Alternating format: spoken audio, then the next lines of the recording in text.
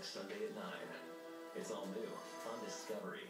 The stories are hard to imagine. We'll go forever without knowing where she is. She took so much away from me. The evidence is hard to ignore. I did not commit that crime. I had nothing whatsoever to do with it. And every case He said there was a real sense of power that came through his body, doing evil things. is hard to forget. On the Case with Paula Zahn. All new season premieres America's leading investigation network.